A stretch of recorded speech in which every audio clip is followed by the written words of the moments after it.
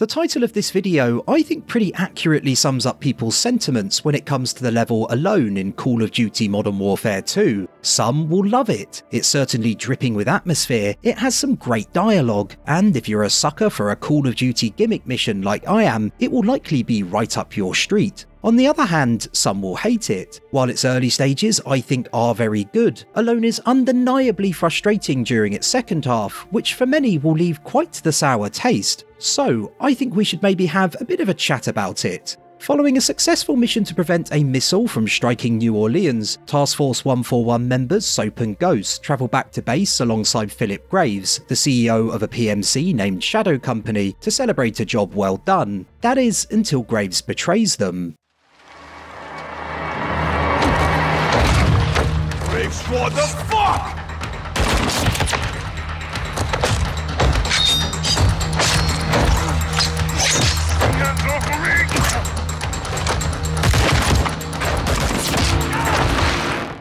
Escaping by the skin of his teeth, Soap finds himself alone on the streets of fictional Mexican city Las Almas, unsure of his squad mate's fate. Although fortunately, it quickly becomes apparent that there's a reason his teammate is nicknamed Ghost. You injured? Zero. Command court in this area. Yeah. So, Ghost, Sans here. I'm good. Yeah. Let's find out how good you are. Keep your blood in, you'll need every drop. Thanks for the tip. You with me?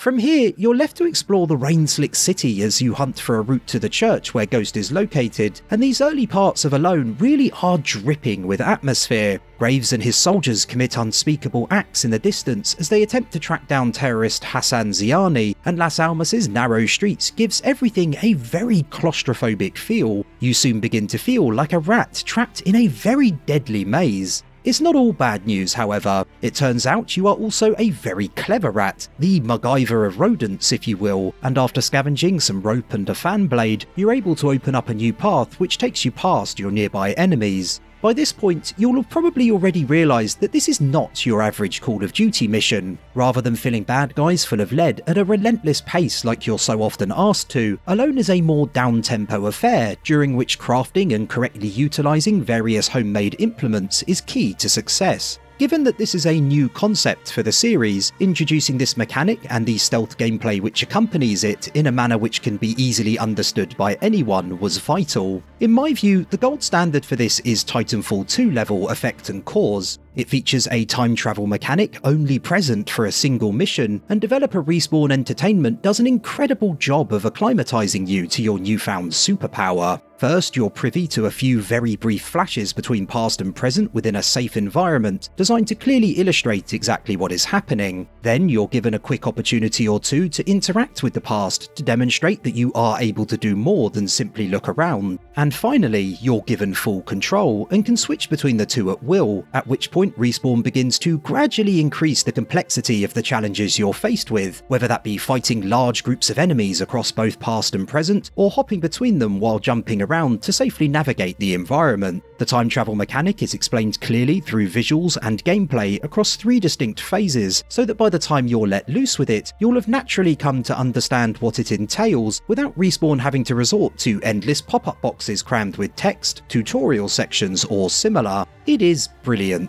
Living up to that particular slice of fried gold is a tough prospect, and of course there's less opportunity to explain things visually given Alone's context and its far more grounded setting, but Infinity Ward gets it spot on. Initially, all you have to do is search a safe area to find the parts needed to craft your first item, which you use on a nearby door. You're then free to search a house, a larger area, where you can hunt for more items, and will eventually get your hands on the flashlight.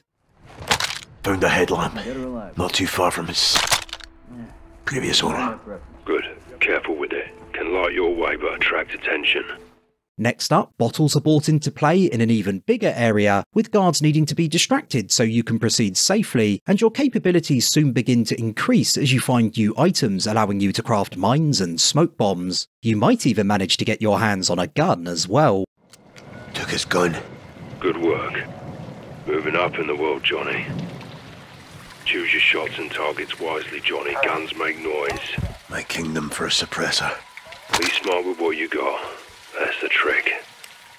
After which, there's one final skill check, a trio of enemies you'll have to make it past in order to succeed, which is followed not long after by the most open section of them all, which I'll come back to very shortly. Infinity Ward structures Alone's first half similarly to the Titanfall 2 example, and it works like a charm. First, you get used to the basics in a safe space, then you're given a little more room to experiment, and last but not least, you're tasked with using your initiative to navigate a set of more complicated and more dangerous areas. Those examples of Ghost providing guidance I shared just now, I also wanted to include as I think the dialogue is handled exceptionally well throughout Alone. If Effect and Cause's visual examples of how the time travel mechanic works are the secret sauce that made Respawn's tutorializing work so well in a way which made sense in world, then Ghost's handy hints and tips shared over the radio are the equivalent in Modern Warfare 2. They're not as extravagant as flashes between past and present, I will concede that, but they strike a perfect balance between helping you and not making what you're meant to do overly obvious. You're given advice which complements the increasing mechanical complexity, but you're never told explicitly what you need to do. Through both gameplay and dialogue, you're slowly bedded into how the level works, but are very much left to your own devices when it comes to deciding what actions to take, which means immersion is never broken during these early stages. This functional dialogue is also supplemented by some light-hearted but equally fantastic exchanges too. It's pissing it down out here. Speak English. It's raining fucking hard. Then say so. I did. Rain's good, it'll cover your tracks. Covers theirs too. Let's worry about you, Johnny. Oh shit.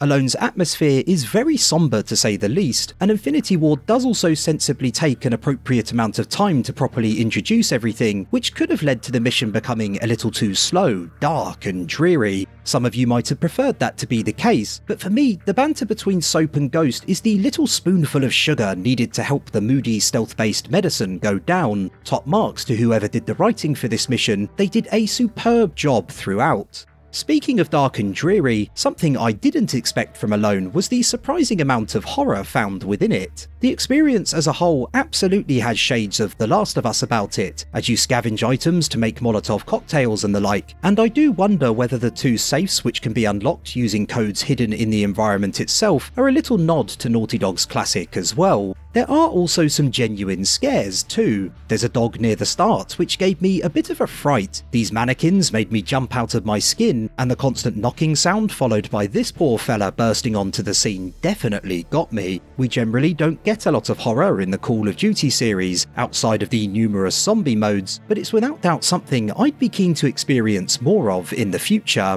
There's just enough time to gather some extra items and for a little more banter between Soap and Ghost. You're gonna owe me for this. Why? We're fixing each other's problems. What's my problem? The mask. Take it off. Show my face. Yes, sir. Negative. Are you ugly? Quite the opposite. I doubt that. Before Alone really begins to open up. Everything up to this point is first class work by Infinity Ward. It can take a good 20 minutes or so to get here, which for some will be a little on the long side, but I don't think that's an issue. There are several levels in Modern Warfare 2 which outstay their welcome, whether that be violence and timing, which simply goes on for too long, or recon by fire, which repeats itself for no good reason, but Alone does not join them in that category. It's a long mission, yes, but the way it builds atmosphere and uses its structure to tutorialize its new mechanics means it's more than worth it. The problem is that it's when you're given the most freedom you've had so far in the level that things quickly begin to fall apart. Your goal is to reach some tunnels which will bring you closer to the church, but getting to them is incredibly frustrating. There are two major issues with this area the enemy AI and the checkpointing system. Good enemy AI in a stealth game, or indeed a stealth level, needs to be, to at least some degree, predictable. If you are left completely unable to work out what a guard might do or where they may head next, then staying hidden, especially in crowded areas, becomes an almost impossible task. This usually means that some realism is sacrificed at the altar of gameplay. In most stealth games, you can anticipate enemy patrol routes, and even if you're caught, guards will eventually return to their posts after an alert phase and conveniently forget you ever existed, for example. But that's no bad thing. If they were too clever, if they searched every nook and cranny or never let up in their pursuit of you, I'd wager most would soon get pretty frustrated. The issue with Alone's baddies is that even after multiple playthroughs, I could never really predict what they were going to do. Sometimes I'd take someone down with no issue and be able to escape without anyone getting suspicious, while on other occasions I'd do similar and be immediately swarmed by an endless stream of guards. You can hear enemies communicating over their radios to help add a touch of realism, but what actually happens can be quite inconsistent. It's also very easy to get spotted, and once they're in an alert phase, escaping them or finding areas safe from their patrols can be an absolute nightmare, as their movements always seem to be very erratic. Often, it feels as if every enemy in the entire area is aware of exactly where you are as soon as you're caught. That might be realistic, but it's not fun. That inconsistency is also present in other places too, such as hiding spots. Every stealth game ever has taught me that hiding under a vehicle will probably keep me safe, for example, but in Alone that's definitely not the case either. Sometimes it did, but a lot of the time it didn't, and that soon became very, very annoying. That being said, it is possible to get to the end of the level without ever alerting anyone. Throwing knives along with the silenced pistol and crossbow which can be found in safes are your best friends when attempting this, but with the AI being as ruthless as it is across all difficulty levels, I'd guess most will struggle to do it. The other major problem with the level's second half is its checkpoints. They are far too frequent, and it's very easy to become trapped in a near unwinnable situation. During one of my playthroughs, I was stuck in this area with two guards approaching, one through each of the doorways I was sandwiched between. No issue, you might think. I could have simply loaded my last checkpoint and tried not to get into a situation like it again. Except Modern Warfare 2 had already decided to checkpoint me right there and then. So, there I was, stuck between a rock and a hard place, trying to figure out how to best escape the situation. I did manage to do so after many retries using a smoke bomb, but it took a good number of attempts as I still ended up getting spotted 90% of the time. I think Infinity Ward made the checkpoints so frequent to try and help you, but they just as often do exactly the opposite. Honestly, I'm surprised they were left as they are for the final release, as they're not implemented very well at all. Whether you breeze through the area like some kind of Scottish ninja or bumble your way through it with all the subtlety of a bull in a china shop, hopefully you will at some point emerge through it and the equally irritating tunnel which follows unscathed. You're not quite done yet, however. Fuck! What the? Oh, get down! All shadow stations. Got one near the church. Holy hell. Ghost, is that you? Who else? Now go.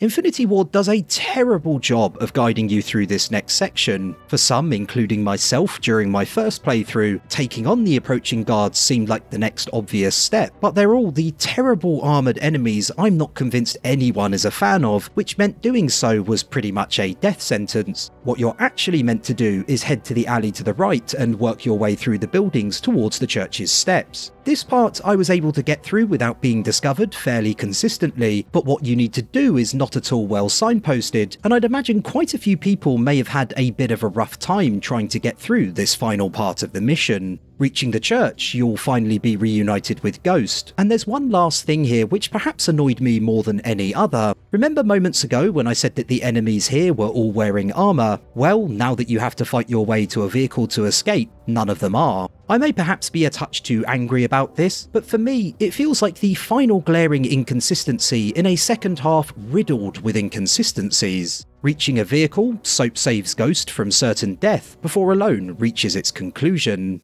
You made it. We made it, LT. No fuss.